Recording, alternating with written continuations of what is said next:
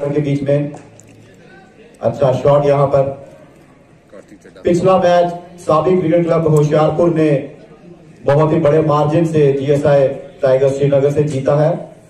तो अभी भी ये ग्रुप काफ़ी जीवित। साबिक क्रिकेट क्लब होशियारपुर करीब करीब अपना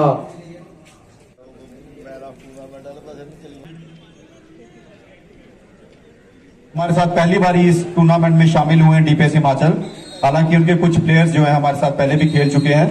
तो एक मौके पर लग रहा है ये मैच डोमिनेट कर जाएगी, पर हमारी काफ़ी पुरानी टीम हरियाणा क्रिकेट अकेडमी काफ़ी देर से हमारे साथ जुड़ी हुई और बेहतरीन उन्होंने प्रदर्शन किया।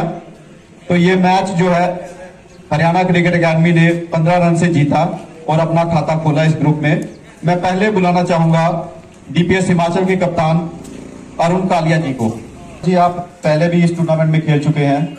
जलंधर स्पोर्ट्स क्लब की तरफ़ से आए थे। तो काफ़ी एक्सपीरियंस तो मैं नहीं बोलूँगा, पर कुछ एक्सपीरियंस तो आपको विकेट का था, और आप भली भांति जानते हैं कि बड़ा ग्राउंड है, क्या रणनीति यहाँ पर होनी चाहिए।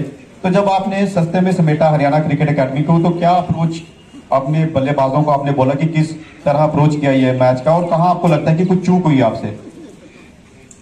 बॉलिंग में हम पंद्रह बीस रन ज़्यादा करवा गए थे हमसे जबकि हमने विकेट स्टार्टिंग में ले ली थी बट बैटिंग जो ऊपर लाइक ओपनिंग पार्टनरशिप नहीं चली मैं भी नहीं क्लिक हुआ।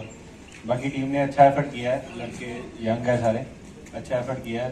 पंद्रह रन शॉर्ट रह गए हम वही जो ऊपर बने वही कह रहा था पंद्रह बीस रन हम ऊपर करवा गए उनके। बाकी अच्छा खेले लड़के हम बैट स्ट्रॉन्गर करेंगे बाकी पहला ही मैच हुआ है and all the best for the rest of your two matches we hope you qualify from this group thank you Haryana cricket academy ने दासा बॉर्डर ने जो ये मैच जीता है वो उसका जो पूरा श्रेय तो नहीं कहूँगा, पर बहुत ज़्यादा जो एक जिम्मा जो है वो रौनक नवाज़ को जाता है, जो हमारे आज के मैन ऑफ़ द मैच है।